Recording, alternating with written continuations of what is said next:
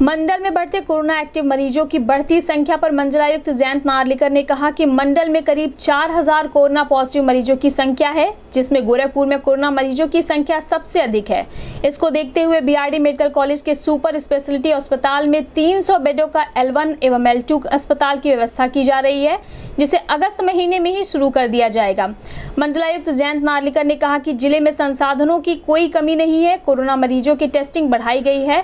हर हाल में प्रत्येक मरीज़ का इलाज किया जाएगा। इस संबंध में गोरखपुर न्यूज़ से बात करते हुए मंडलायुक्त जयंत नार्लिकर ने कहा।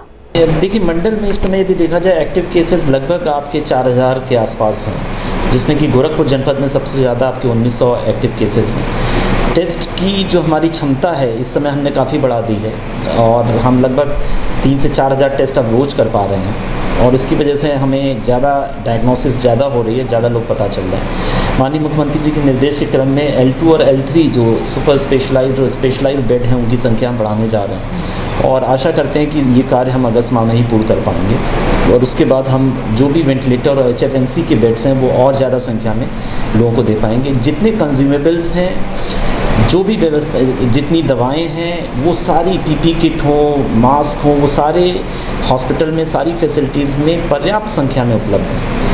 और जो हमारी मैन पावर है, हमारे पास ऑलरेडी कोविड में लगी हुई है, उसके साथ साथ हम और मैन पावर को हायर कर रहे हैं। और बिल्डिंग्स के काम आपने खुद देखे हैं कि वो कंप्लीट हो चुके हैं, और मैं आशा करता हूँ कि हम बहुत जल्दी ये जो एल टू एल थ्री की कैपेसिटीज़ बढ़ानी है, गोरखपुर जनपद में और बाकी तीन जनपदों में इसको हम और बढ़ाने में सक्षम होंगे।